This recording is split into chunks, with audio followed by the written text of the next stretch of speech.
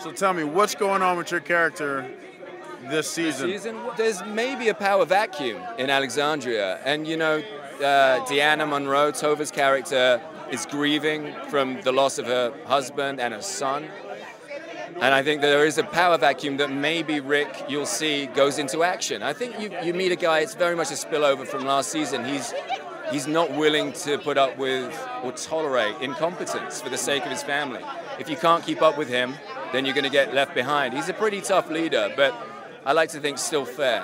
How crazy is this season? It is gut wrenching. It is frightening. It's it changes. So many people just go through so many amazing arcs. It's just really exciting. It's riveting. Well, this whole season is. Andy said this thing where the first episode is kind of like pulling back a bow and arrow, and it's you're you're struggling to keep it tense, and then you let go of it, and that's how this episode ends. And it, that arrow flying at you is pretty much this whole season. There will be a lot of blood this season, you know, Walker blood and human blood. I mean, it, we've come out, uh, I think one through nine are the biggest, most ambitious episodes we've attempted. The season's a roller coaster. It's a, I mean, it's like boom, boom, boom, and it's like ah, ah, ah, you know, it's it's it's intense. It's an intense season. The scope is so large, and I think this is something that obviously we've never done on our show before, and um, it's almost too big. You know, the bar is set so high on this show because the fans deserve it, and we just keep trying to get over it. You know, and I think we've pretty much maxed out on what you you're capable of shooting in an eight-day episode. You know, I mean, we're still in it. I was laying in bed last night trying to remember lines for Wednesday.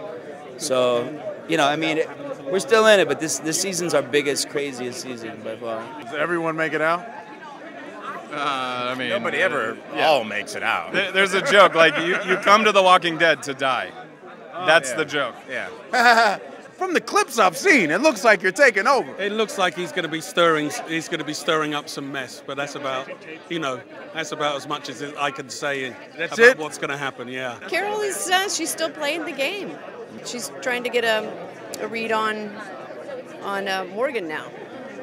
You know, he has a very different point of view about how to survive in this world. The two of you all, I want to know who's going to win at the end.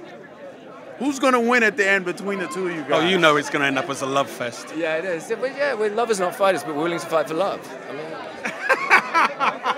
How close have you all become as a cast? Oh, I mean, it's been six years with one of the greatest people, one of the greatest people over here, and um, you know, it's it's awesome. Yeah, it's awesome. It's uh, he's prickly.